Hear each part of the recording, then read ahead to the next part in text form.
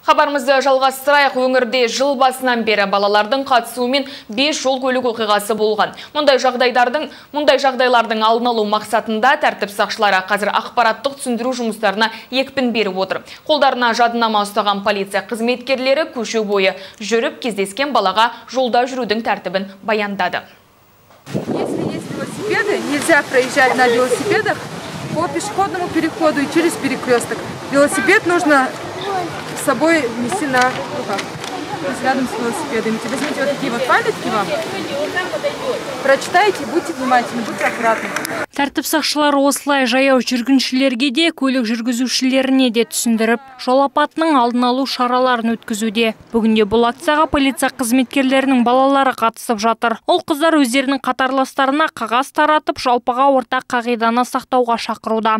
При переходе пешеходного перехода нужно остановиться, посмотреть налево, потом направо. Балалардың жазғы демалысының басталуына байланысты біз бүгін көшелерге шығып түсіндіру жұмыстарын жүргіздік.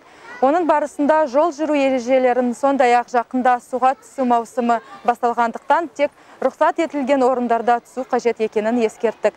Көшелерден өткенде балаларды қолданыздан ұстап өтіңіздер. Құрметті ата-аналар, мұқият болыңыздар.